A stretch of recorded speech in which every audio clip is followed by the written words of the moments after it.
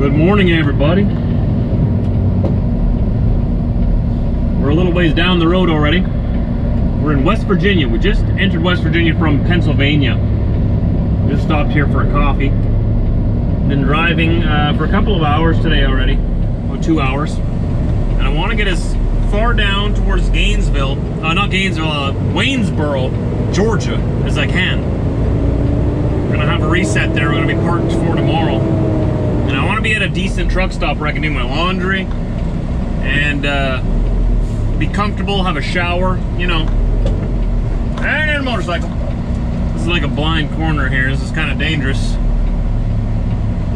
Slowly edge forward. Slowly edge forward. Okay, we're good. In 200 meters, turn left on Goshen Road, CR 77 and then take the entrance to the right in 130 meters. So we'll get ourselves back onto the Interstate 79 South. We'll be on our way. We are apparently leaving the interstate. In 200 meters, slide right on Upper Mill Creek Road, US 19 and then slide right in 160 meters. And what is that? US 19? Here in West Virginia? What a beautiful state. What a beautiful, isn't there a song about it? Country road, take me home. Right? West Virginia!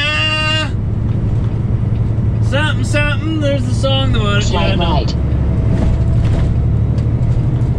Beautiful state. I love the rolling hills.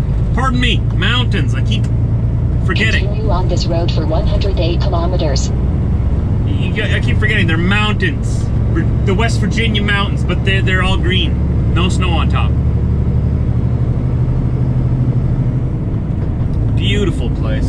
And the way they build their civilization, like right into like the sides of the mountains and like all over on top of them and everything, it's just incredible. This would be a, a, a fun state to go through the backcountry on a motorcycle, on like a motorcycle tour. I think. And if I had unlimited time and money, I'd take I'd take a, a month off and just go wandering around. I got friends that live in Virginia, just over here, the, the real Virginia, over the, the other Virginia. Uh, it's not East Virginia, it's just Virginia. I got friends who live in the in the Moses and Colleen. I'll probably be going pretty close by their by their house on this trip. I think they're on holidays right now, though. Good for them. They just had their second baby.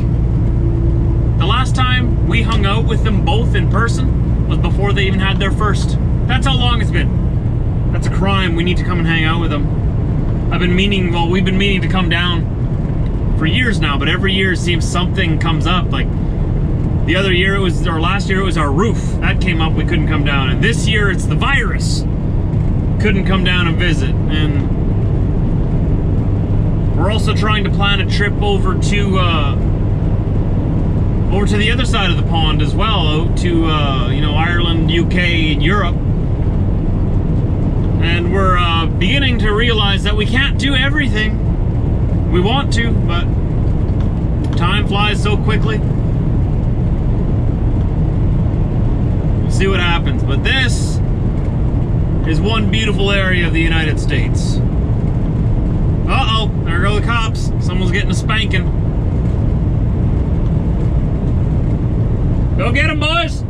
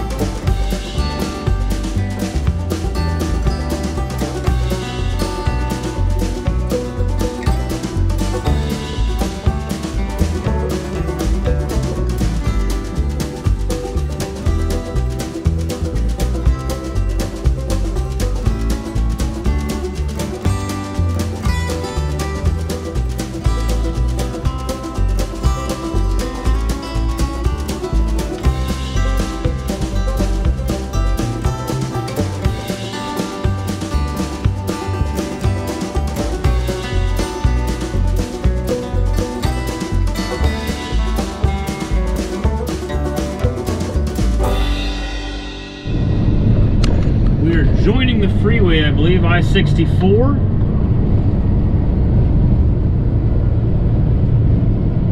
This is E-ZPass, right? They got an E-ZPass here?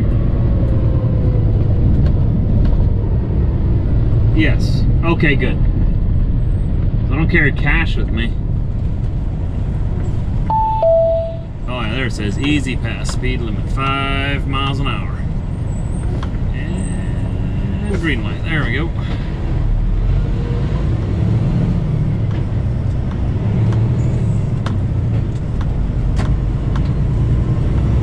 All right. They have our money. Now let's see what we get for it. You think it's gonna be a nice highway?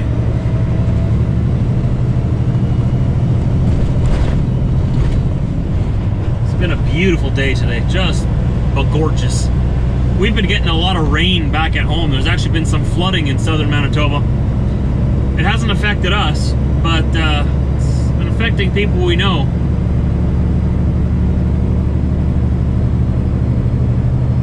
It's Been getting a lot more rain than usual. For the last several years, we've had droughts. Now we're getting lots and lots of rain. This guy left his lights on on the back of his truck. It's backup lights or something.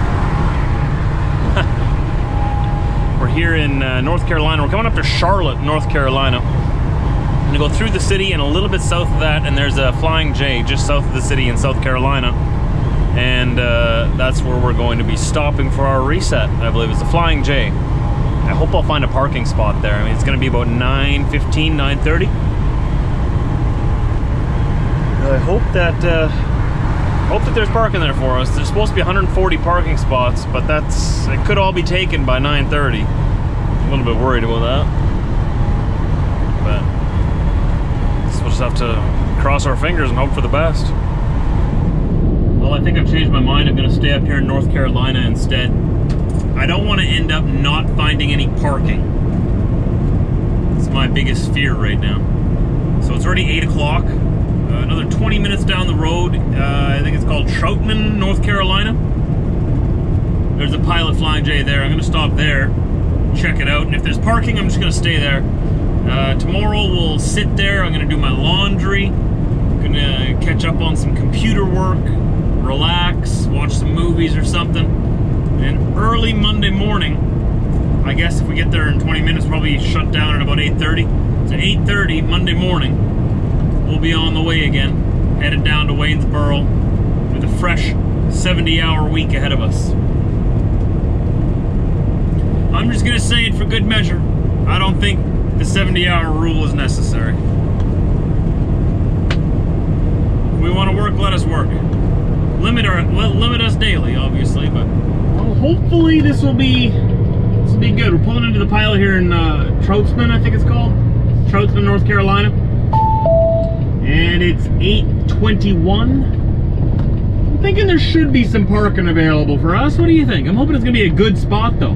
I don't like taking 300 those meters, keep to the left on Charlotte Highway, Karen. US 21 and then approaching destination on the right side in 160 meters. Don't like taking those parking spots that are in kind of a sketchy spot where someone's got to back in right beside me and possibly rip my bumper off. But you know nobody likes those spots but someone's got to take them either way as soon as my tires stop here they will be stopped for the next 36 hours. I only need 34 hours to be reset in the United States, but if I want my reset to be valid in Canada when I return back there, I have to do a 36 consecutive hour reset.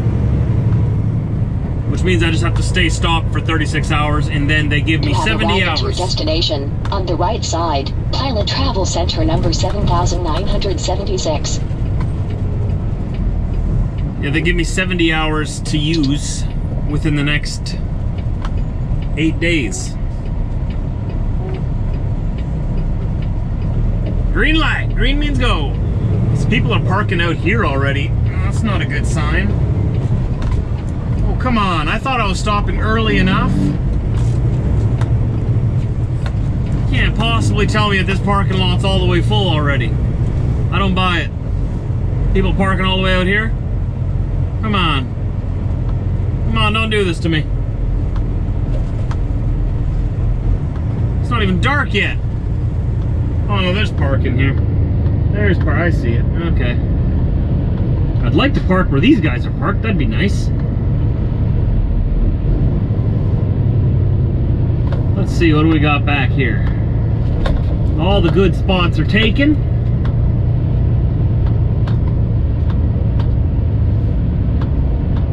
Oh, I bet you those other spots are are paid parking. You gotta be kidding me. Everything's full already. See, this is why I didn't want to drive too late. Guy's doing parked there? Oh boy. Oh boy.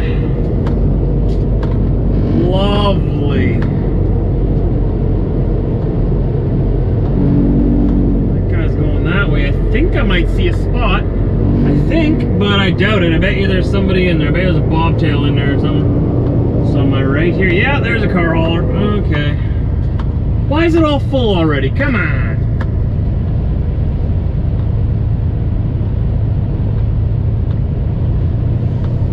Ah, that's disappointing. Well, let's keep keep going around here, see see what we can find. I mean, I do see some open spots over here. I just don't know if they're, you know, pay to park.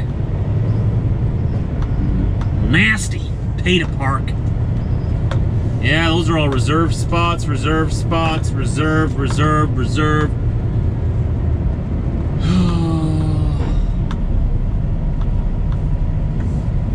this is all reserved parking. All of it.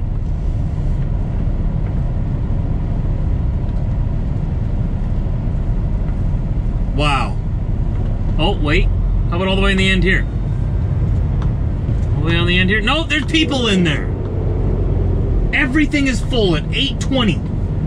8.30 and everything's packed.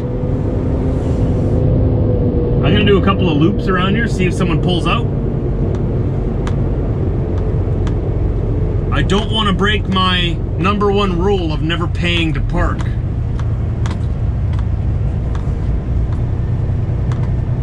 But this, I can't, I don't want to go further. Because if I go further, I might not find any parking at all, and I have to stop. Come on, somebody pull out. Come on. Come on, somebody, somebody pull out. I don't want to pay. I never pay.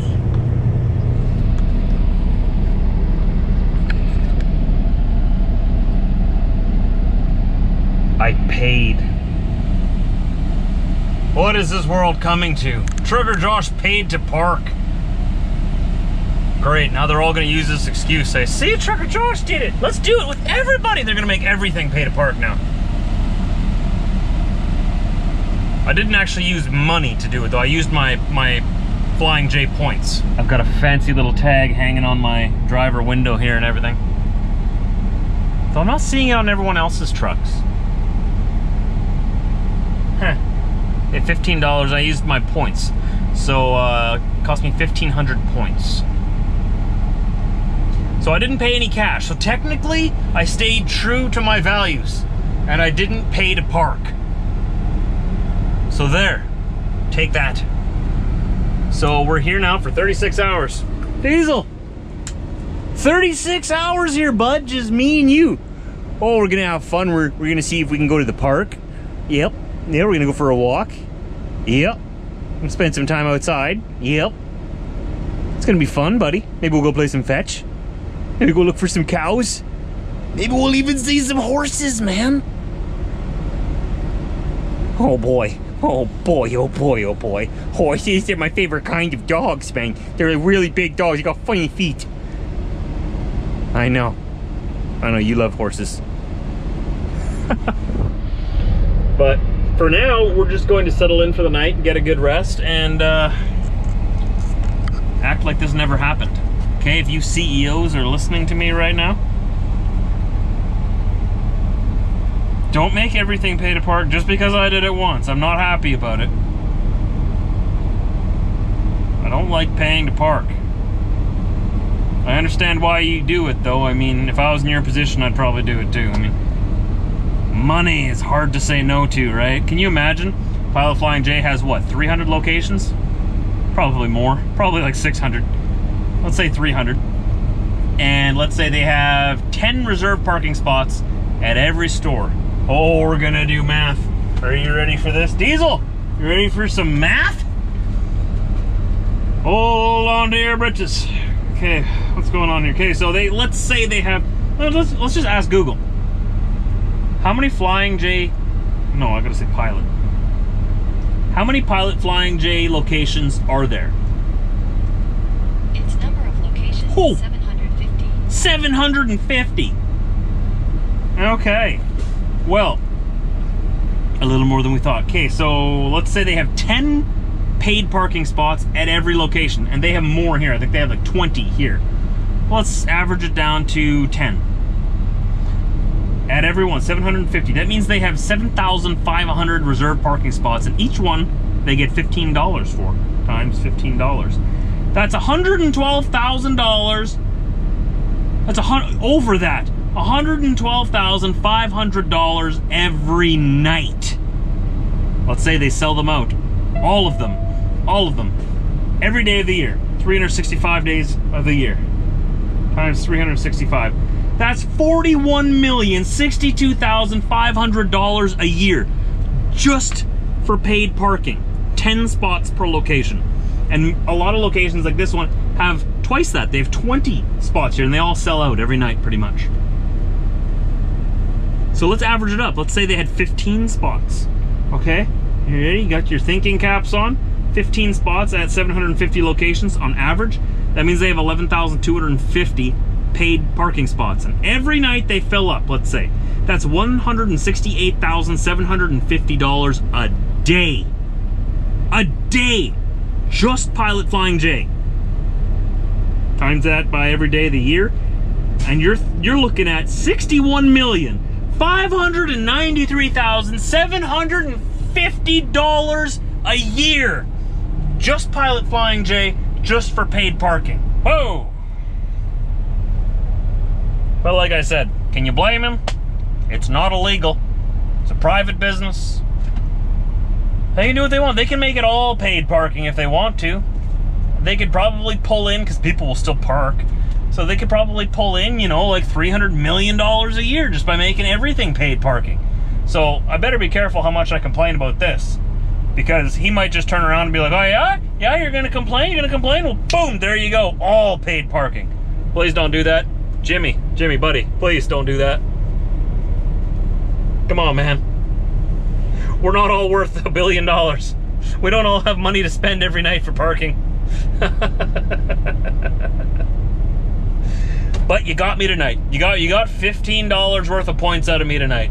You didn't get any cash, but you got those points out of me. So, bravo, good sir, Mister Capitalist, Mister Monopoly Man. You got me. You know. My truck's dinging at me. Telling me to shut up. Okay. So we're gonna end the vlog here. Take care, everybody. And I'll see you tomorrow.